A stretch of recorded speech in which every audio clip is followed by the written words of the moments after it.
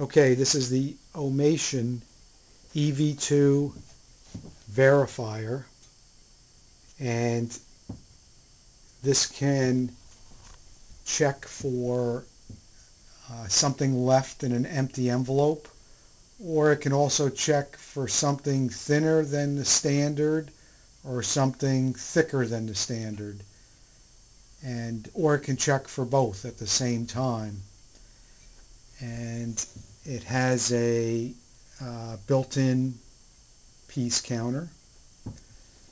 And when it does find something thicker than the standard or thinner than the standard it'll lift up this divert uh, flag and divert that piece to the bottom uh, conveyor that is a reverse flow conveyor.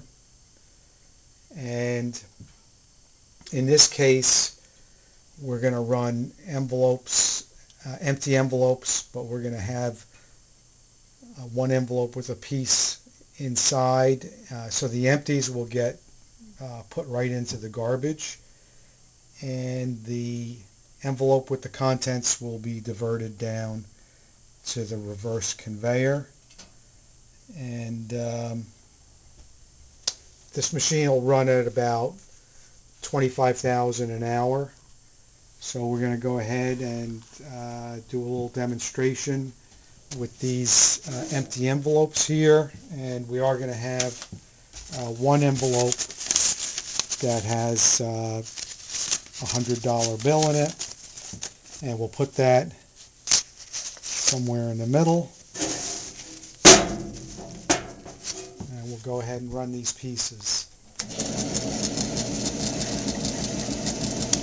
look over there right at the divert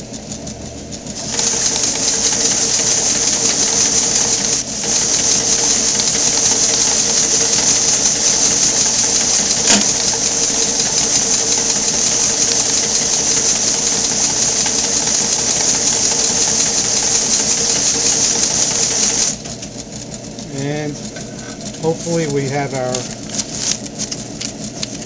contents there, our $100 bill. And thanks for watching.